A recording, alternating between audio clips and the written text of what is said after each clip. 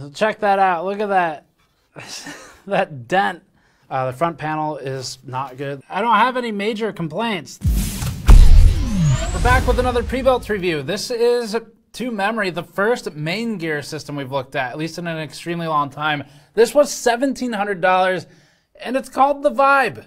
That's the name, V-Y-B-E. So we're looking at the main gear Vybe, a 1000 $700 system with a 3060 Ti and a 5600X. This puts it pretty up there against the likes of the Alienware R10 and the Skytech Chronos that we reviewed previously. If the Alienware box is anything to go on, this is this is lazy and cheap. There's there's only room to improve. So let's get started with the main gear Vybe and see what $1,700 gets us on today's market. Before that, this video is brought to you by the Thermaltake Tower 100. Thermaltake's Tower 100 is a mini ITX case to serve as a showcase system for your components.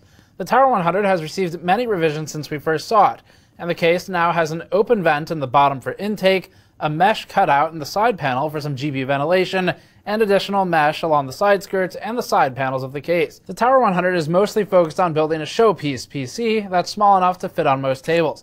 Learn more at the link in the description below. Some quick info. As usual, we have the link to the playlist in the description below. We buy all these pre-builts ourselves for this series of reviews, and we try to do it as anonymously as possible. We've gotten pretty good at it, and that allows us to buy these systems without the manufacturer knowing so they can't just happen to build the best possible one and have a lot of people look at it before it goes out the door. This has led to us receiving systems with uh, an odd array of problems. For example, oh, here's some rolling screws. Wow, that's crazy.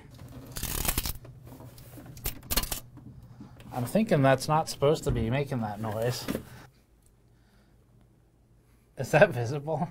And that's what allows us to see the real customer experience. As always, if you want to support our ability to continue dumping tons of money into these to figure out which ones are actually worth your time to buy or recommend to friends, you can go to store.gamersnexus.net and grab things like our GN Coaster Pack, which is just about in stock. It's on back order, if not in stock already. We'll be shipping within the next couple of weeks. You can go to store.gamersnexus.net and grab them. It's a four pack of component coasters that we designed in house using 3D software, and we're extremely happy with the result. They've been selling like crazy. So uh, people seem to like them. So you can grab those. That supports us and buying more of these as well. All right. So this is in the upper echelon. We have a couple of super high end systems coming in for review as well. There's a $5,000 one we bought it hurt a little bit, especially because it doesn't look like it's going to be good, but that's news for another time.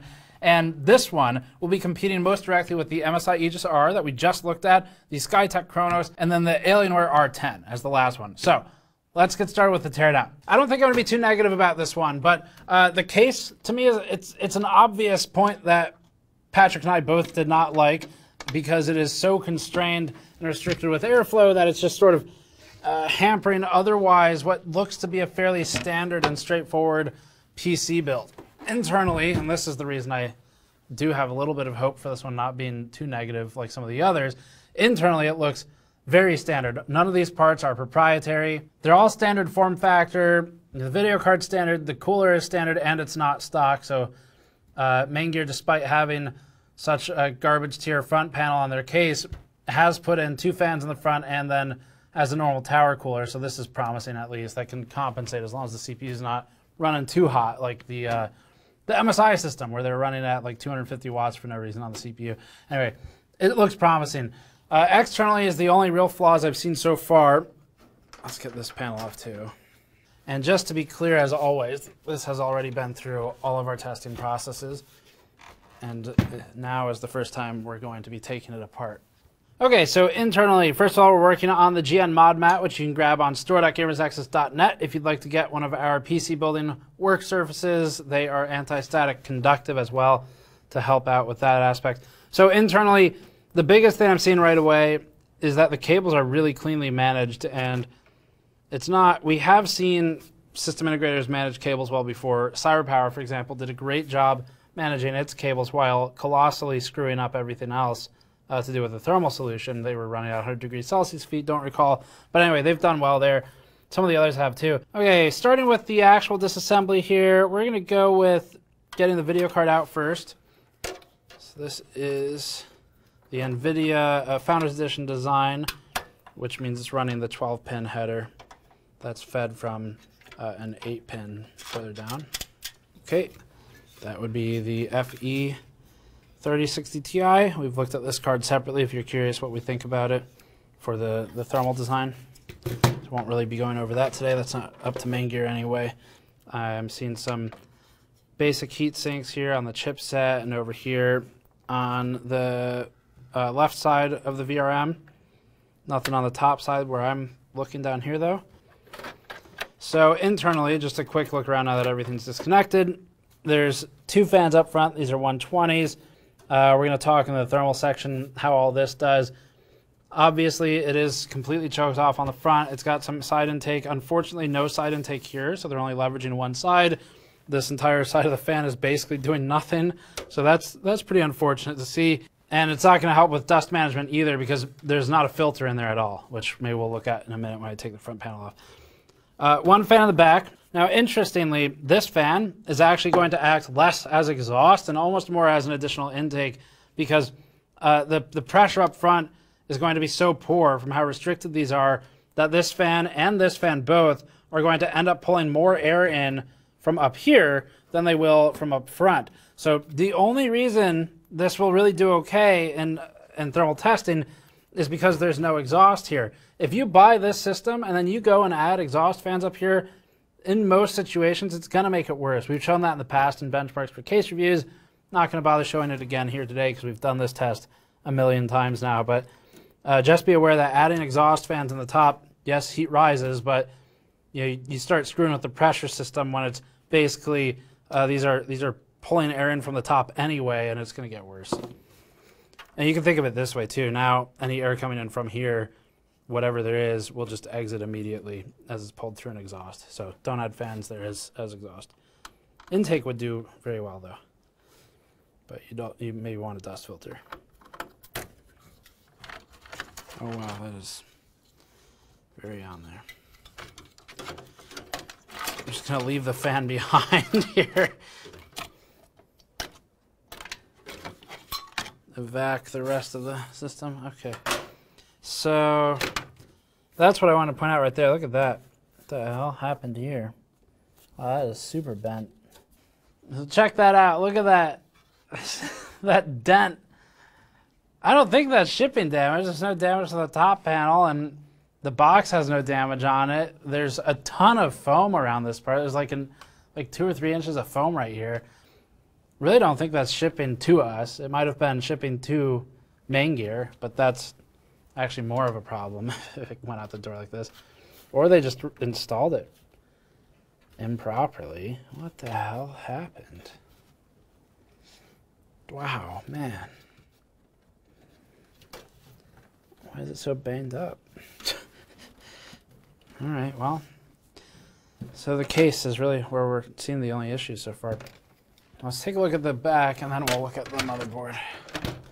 So on the back side, cable management's pretty good once again. It's tied down with either zip ties or with Velcro. So they've done pretty well to carry through this theme of managing their cables. So genuinely, Maingear's done a very good job on the cable management. Generally, overall, good attention to detail, but still not happy with some of the defects in like in the case. And then uh, the front panel is not good. Let's take that off actually, take a look at that. So fairly yeah, old approach where you put the headers in the front panel and then run all the wires through the case. Not the best way to do it, but that's all right. They're doing it because they've they've decided to attach their LEDs to the front panel instead of the chassis, so they need to run a wire for that. So then at some point it becomes like a well, we might as well just run wires for everything. So anyway, that's what they've done there. So looking at the other components here, this is an AMD system as a reminder. And so it's going to be PGA.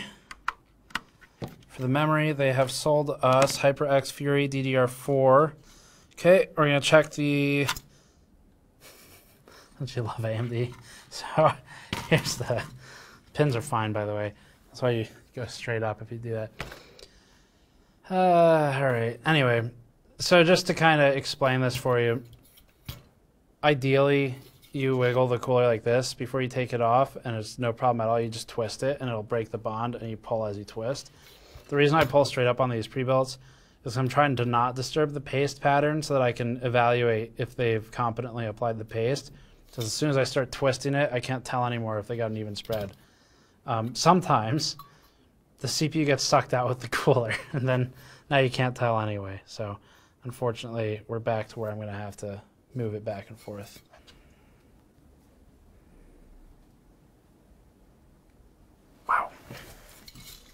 A little heavy, but not bad. I would prefer them to go heavy than to go too light. The motherboard is a B550M Pro VDH Wi-Fi model from MSI. It's not a particularly high-end board. Uh, I think that covers all the core components. What did I want to look at? PSU. Power supply, thank you. So the last thing to look at is going to be the power supply, which is an EVGA model. I can see that from here. There we go. It's an EVGA 500BR model. And it's 80 plus bronze. That is the nastiest looking representation of the color bronze I've ever seen. It's like almost orange. It's like 80, 80 plus mud brown, 80 plus sewage waste. The new standard from, from ClearResult. Max output is 20 amps on the 5 and 3 3, and then it's 41.7 on the 12 volt uh, which is actually the full 500 watt supply. So that's actually great to see. Uh, you're not going to need that, but it does mean you're not going to get a an OCP trip when it feels like it shouldn't happen, which would definitely happen on something like a Dell system where you're at half the total supply in 12 volt. Okay, so I think we can stop there. This is this is fairly standard. I don't have any major complaints. The there's some quality control issues on this case damage up in the top here. The case itself you know how we feel about it. Uh, that's more of a part selection thing. But in terms of build quality, ignoring the case choice, the cable management was great. The components were installed correctly. Everything was tight and torqued down correctly. Nothing was over torqued that we found. The cables were plugged in correctly and not loose. Uh, and some of these more finicky cables, like the RGB ones, were secured with electrical tape as well. So not really seeing any major problems, but I'm seeing a lot of good attention to detail where they're preempting these surprises or these pitfalls that SIs typically run through when they're shipping out systems. Some really weird. Okay, well, anyway, really, there's just some weird damage I wasn't expecting there, but it's not visible ever, so it doesn't matter. So that's going to be it for the teardown. We're going to move forward with some testing now and see how it does thermally in games and everything else. Let's look at some benchmarks. We'll start off with our game testing suite. We've intentionally limited Cyberpunk 2077 to an older version for test consistency, so overall performance will improve with updates in terms of absolute numbers, but the scaling between systems on the chart remains accurate. On paper, the Vybe's 3060 Ti puts it near the top of the chart for comparing specs with the other pre-builts we've reviewed. That'd be below the Skytech Chronos with its RX 6800, and on par with the Alienware Aurora. At 1080p, the Vybe ran at nearly the same average FPS as the Alienware R10, but it did manage a 4.5% uplift.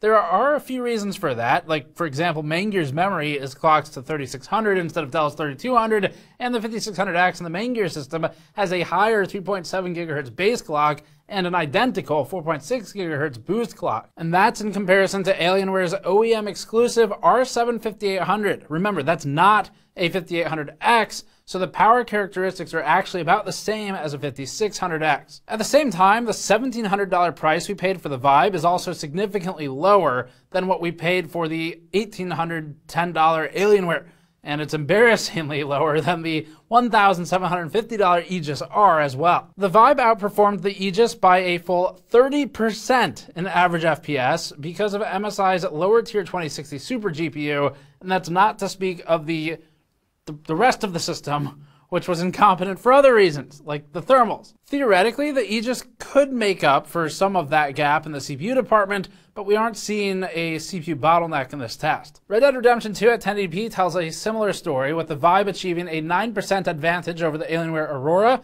Maingear's 1% and 0.1% lows don't show the same uplift. The system's advantage disappears when going deeper than overall FPS average, but since the GPU is the same, that all makes sense. The Vybe remains extremely strong when taking the price we paid into account. The MSI Aegis was purchased in the same approximate time frame as was the Asus GL10DH, but the Aegis offers much worse performance for the money with the Vybe 36% ahead in this test. Rainbow Six Siege is the least graphically intensive game in our pre-built test suite, making it more of a CPU test in many instances. The Aegis R still fell behind the Vybe's 3060 Ti, which earned Maingear's system a 38% advantage over MSI's at 351 FPS average, and that's in spite of the higher price for MSI.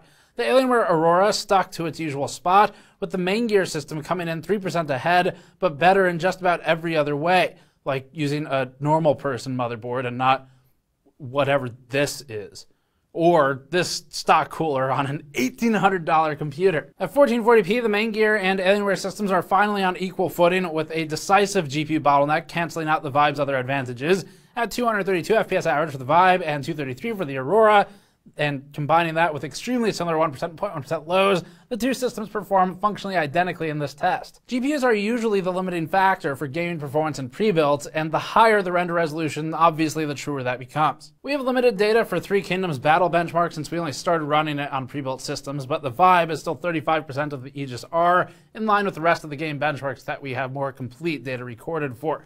We'll add to this one more as more pre-builds come in. We kept thermal testing very simple for the Vybe. Maingear didn't make any obvious customizations to the power plan, so we verified that there were no significant differences in CPU temperature between balanced and high performance plans, and then we moved forward with the high performance plan for testing as usual. With a combined CPU and GPU torture test running on the stock system, CPU T-die reached steady state at 67 degrees Celsius. Removing the front panel reduced that to 61 degrees, but we need to look at RPM to see how that changed. At the same time, the baseline average GPU temperature of 74 degrees Celsius was reduced to 71. Because we perform very basic testing on pre-builds as they ship without controlling for the fan speeds, we need to examine the RPM readings as well to get the full story, which we'll do next. As it is, we can see that the CPU temperatures are well within the acceptable range for AMD, kept low mostly by the 120 mil Cooler Master tower with conventional front to back airflow patterns. It's definitely a step up from the stock cooler. GPU temperatures are warm, but well within range on the die. There was a negligible change in frequency for either the CPU or the GPU between tests, which leaves temperature and fan RPM as the two main variables for us to examine. The case contains three fans, not counting the CPU or GPU coolers. The front fans are marked 1000 RPM and max out at almost exactly that speed, while the rear fan is RGB and maxes out between 1400 and 1500 RPM. If the front fans are connected to the fan hub, they will always run at 1000 RPM no matter what software settings are chosen. These are the slowest and quietest fans in the case, so it's not a huge deal, but it's a waste of the fan hub's potential. The two fans that do alter speed based on temperature, that'd be the CPU and the rear exhaust fans, are both set to max out when the CPU hits 75 degrees Celsius. The CPU never reached that temperature in our testing, so the fans never achieved their maximum speeds, which is mostly a good thing for noise reasons. Both fans max out at approximately 2000 RPM, and that's as measured by our external tachometer to make sure we're getting accurate readings with lab equipment instead of just relying on software. Examining GPU fan RPM over time, it's clear that taking the front panel off enables lower speeds and gets to a controlled steady state quicker. Stock, it took 52 seconds from the beginning of the load period for the GPU fans to rise above their 30% minimum duty cycle, but that rose to 70 seconds with the front panel removed. Without it, the GPU can stay cooler for longer without increasing fan speeds. Despite the non-adjustable front fans, the system had a very quiet 31.8 dBA idle noise level at our usual 20-inch distance. The maximum steady state noise level we observed was 38.9 dBA, which is also among the quietest systems we've recorded. Again, the CPU and the GPU fans weren't forced to spin at max speed because temperatures remained low enough under load. So there's still some headroom for the fans to spin faster and get louder with an ambient temperature higher than our testing environment. For power consumption with a CPU-only Blender workload, the Vybe drew 149 watts from the wall for a few seconds before quickly dropping to a stable 138 watt average.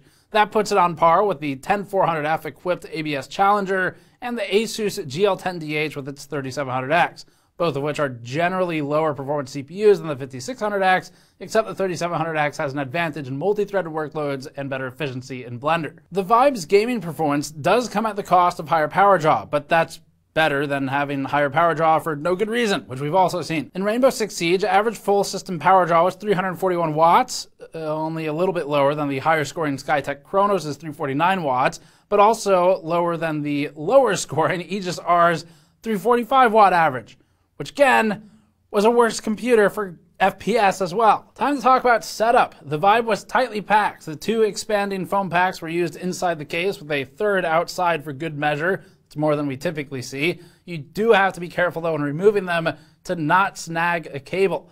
The system received a little shipping damage, and we prefer this extreme to the opposite of not packing it properly, which we've also seen. But there wasn't an absence of damage to the case in general, as you saw in the teardown. The removable top filter was pushed down slightly when we received the system, and removing it revealed that the top radiator tray is bent. This may have happened in shipping, but Given how carefully packed it was, we think it most likely happened during assembly. The quick start guide provided with the system contains labeled photographs of the model we bought rather than the generic renders. And that's another extra touch that's a serious value add. The clearer the instructions, the less likely an uninformed customer is to call support. So it's good for everybody. The back of the system has an alphanumeric Windows key on it. This is actually unusual among the pre-builds we received recently, and this is helpful when reinstalling Windows. But Hopefully that won't be necessary with the Vybe because Maingear has installed zero of its own program. If you do end up wanting a clean install, there's a 32 gigabyte recovery flash drive in the accessory kit, which is awesome. We'll continue to call this out every time we see it because it's one of the most helpful extra touches that a manufacturer can provide for a pre-built computer. RGB connections are handled by the combined fan and RGB hub. The WIF MB switch on the board toggles between the motherboard RGB control, or Maingear's chosen default, and control via an included wireless remote. The switch has nothing to do with fan speeds. The front panel contains a generous three USB 3.0 Type A ports and one USB Type C port, the only Type C port on the system, as well as separate mic and headphone jacks. No mouse or keyboard is included with the Vybe. A cheap pack and mouse and keyboard combo is arguably less necessary for a mid-range pre-built than for budget ones, since customers are more likely to bring their own peripherals, but it's something to be aware of. On to BIOS and software briefly. The boot drive pre-installed in the Vybe is a dirt cheap Intel 660p NVMe SSD, an identical model to the one in the Asus GL10DH that we reviewed recently and complained about. As with the Asus system, we noticed massive drops in speed after only a few seconds of transferring large files to the drive, down to about 40 megabytes per second, which is unbearable if you're moving gigabytes. The drive works perfectly during normal operations like booting or playing games, but beware that moving larger files, more than a couple gigabytes, from a high-speed other drive will bog the entire system down. High speed is key here. Our external drive, the crucial one, typically moves files at 500 to 600 megabytes per second. We aren't storage reviewers, but AnandTech covered these SSDs several years ago, the internal 660p that is, and concluded that most normal use cases won't overwhelm the SLC cache and trigger the problem, even with gigabit internet speeds. The extremely high Amazon review score seems to support that this isn't a problem for most people, but we noticed the impact and it's extremely frustrating. Maingear did remember to apply XMP, which is great. They put the two 8GB DDR4 3600 sticks at the rated speed. Memory was set to a one-to-one ratio with M clock, U clock, and F clock, all running synced at 1800 megahertz, which is perfect. That's exactly what they're supposed to do. BIOS settings were otherwise unremarkable. The MSI B550M Pro VDH Wi-Fi is a retail motherboard rather than a Maingear exclusive, which is good because it has a normal MSI support page with regular updates. And finally, the pre-installed NVIDIA driver was 496.49, which was brand new at the time we ordered our system. So they're using the newest available option. There was also a 3D Mark benchmark result on the drive dated a month prior to our order, implying that Maingear did some pre-system testing before the PC was finally packaged and shipped out the door. For $1,700 then, just strictly against the other pre-builds we've looked at, ignoring the DIY market for a moment, the Vybe ends up actually with the 3060 Ti being very competitive. The attention to detail by Maingear makes it look like people who have actually built computers built it, so that's good. Uh, you know, companies like Dell have certainly perfected mass production and assembly lines, but then you get the computer, you're like, there's, there's not a lot of basic problems normally, like, for example, all the cables are plugged in.